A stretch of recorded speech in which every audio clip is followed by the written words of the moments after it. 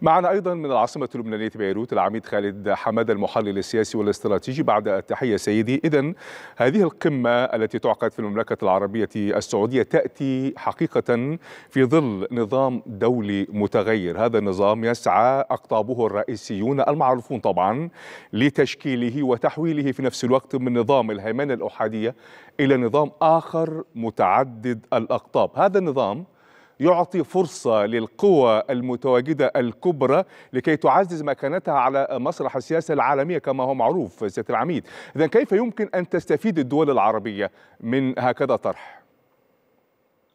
صباح الخير يعني القمة العربية اليوم إذا حاولنا أن نضعها في إطار مسار التزمته وخطته الدبلوماسية العربية بتماسها مع أزمات حصلت لا سيما خلال العام المنصرم بدءا من الأزمة الأوكرانية ووصولا إلى الاشتباكات والأزمة أزمة الحكم وأزمة السلطة في السودان.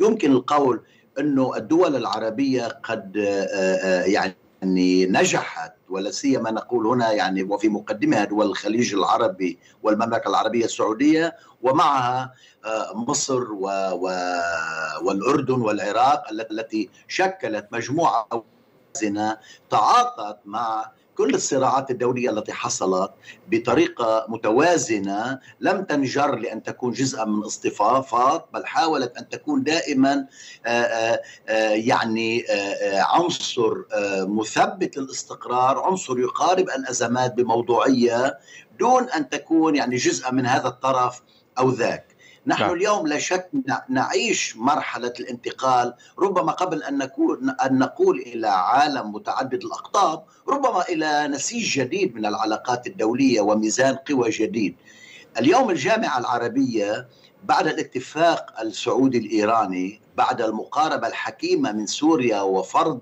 سياسة الخطوة خطوة لجان المتابعة العربية المشكلة من وزراء الخارجية التعاطي مع كل الملفات الإقليمية انطلاقا من احترام سيادة الدول هو يضع مضبطة ربما أخلاقية دولية أو مضبطة سلوكية على مستوى العلاقات الدولية نعم. يكرسها هذا الوزن العربي وبالتالي تستفيد الجامعة العربية وتستفيد الدول العربية إذا تمكنت من المحافظة على هذا التماسك من أن تكون جزءا من منظومة علاقات دولية وازنة لا سيما إذا وضعنا بعين الاعتبار الوزن الاقتصادي للدول العربية لا سيما دول الخليج. يعني يعني هنا هنا في هذه النقطة بالتحديد سيادة العميد يعني وخاصة فيما يتعلق بأن هذه الخطوات تعتبر يعني إطارا داعما كما تحدثت للحفاظ على النظام الإقليمي العربي بوحداته طبعا الرئيسية هويته الثقافية كمان في نفس الوقت عن الآليات الداخلية القادرة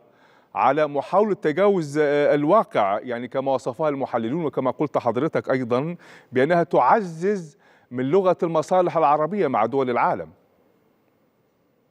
هذا صحيح. يعني اليوم اليوم القمة العربية حتى رأينا يعني ما نشرته الصحافة الدولية حول هذه القمة لا سيما نتكلم عن أتكلم هنا عن المفد الدولي لسوريا جير بيدرسون الذي حاول كذلك أن يعني أن أن يضع هذه القمة الدولية إلى جانب مسارات أخرى نتكلم عن أستانا عن اللقاءات الرباعية التي حصلت في نعم. موسكو والقرار 2254 يعني وكأن الجامعة تأتي اليوم لتملأ فراغ ما كان موجودا وبالتالي هي لا تتعارض مع القرارات الدولية، لا تتعارض مع كل المبادرات بل تأتي كقوة ليس فقط داعمة وربما رائدة للمسارات الدبلوماسية التي انطلقت وتعثرت في مكان ما.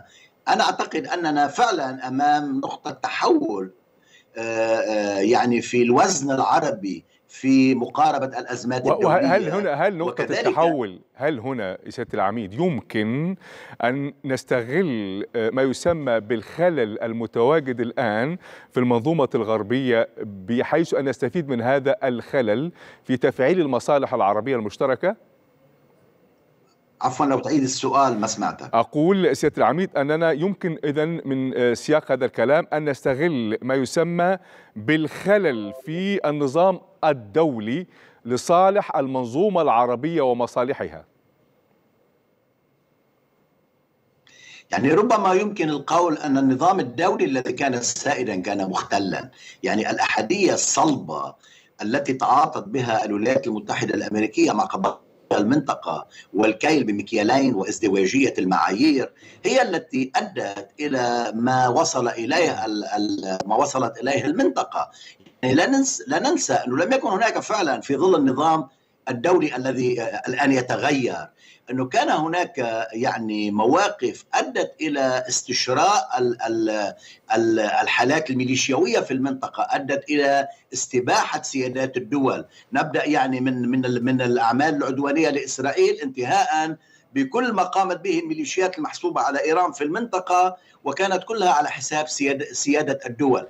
أنا لا أقول إنه اليوم نستفيد من الخلل في النظام الدولي، بل أقول أن النظام الدولي كان مختلا واليوم يعود التوازن اليه لأن المنطقة العربية كجزء وازن من هذا العالم أعادت التموضع بشكل صحيح في مقاربة الأزمات القائمة. طيب هنا سياده العميد بالإضافة إلى الناحية السياسية التي نتحدث عنها دائما هناك طبعا تحديات سواء كان في الناحية الاقتصادية أو الاجتماعية نتيجة كما قلنا للأزمات العالمية المطروحة الآن.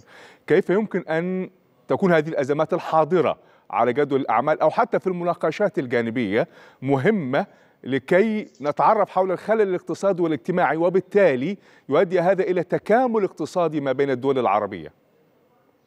يعني اولا أعتقد أنه الدروس المستفادة من كل المسار السابق أنه لا يمكن بناء اقتصادات ثابتة أو أو الكلام عن وزن اقتصادي في ظل عدم وجود استقرار سياسي وفي ظل عدم دعم مفهوم الدولة في كل العالم العربي. أنا أعتقد أنه سياسة الخطوة خطوة التي عبرت عنها يعني عبر عنها اللقاء التشاوري اجتماع التشاوري في عمان في مقاربة الأزمة السورية. سيكون النموذج الذي سيتبع في مقاربة كل الأزمات. يعني أولا الاستقرار السياسي والأمني. ثانيا يتم يعني يتم تتم المقاربة الاقتصادية على كذلك وتتم معالجة المشاكل الاجتماعية على نفس القاعدة ربما هنا يعني تجدر الإشارة إلى البيان اللقاء التشاوري الذي تتكلم في موضوع عودة النازحين السوريين نعم. عندما قال عن بمساعدة كل السوريين أينما كانوا ولأي يعني ولأي لكون لنقول لأي منطقة أو لأي فريق سياسي ينتمون إليه، كذلك يعني مقاربة مسألة معالجة التهريب والمخدرات وطبعا عوده يعني عودة قرار عودة سوريا قرار عودة سوريا للجامعة العربية في هذا الإطار. يعني سيجعل من قضية عودة اللاجئين قضية مهمة وأولوية حتى على أجندة هذه القمة. هذا صحيح ولكن نقول اولا إنه لا يمكن أن تكون عودة النازحين إلا في سياق خطة تؤدي إلى استقرار سياسي، يعني لا معنى لعودة اللاجئين من ضمن خطة تنفق فيها الأموال إذا فعلا لم يستشعر المواطن السوري العائد إلى سوريا أنه عائد بشكل نهائي وأنه عائد لكي يكون مواطن سوري وليس لا يكون نازح في الداخل السوري، يعني من هنا نقول إنه وأعتقد إنه يعني توحي تصريحات وزير الخارجية السوري سواء في الاجتماعات التي عقدت سابقا أو خلال اللقاء التحضيري لوزراء الخارجية العرب قبل انعقاد القمة يعني بالأمس وأول من أمس أن هناك التزام سوري يحيط بكل هذه الخطوات يعني بالرغم أنه يظهر جليا بعكس ما ربما كان يريده النظام السوري أن ما يحصل هو مضبطة نعم. واضحة لهذا السلوك الذي فعلا صحيح. يعني يستلزم من سوريا التزاما كاملا نعم. ولا يمكن إجراء صفقات وفقا لما جرى سابقا وتوافقات سوف نرى. سوف نرى. يعني, يعني. هذا الكلام الواضح وهذه التفاصيل من حضرتك. سوف نرى من خلال مناقشات هذه القمة المهمة التي تنعقد اليوم من بيروت العاصمة اللبنانية سيادة العميد خالد حمادة المحلل العسكري والاستراتيجي. أشكرك. شكرا جزيلا.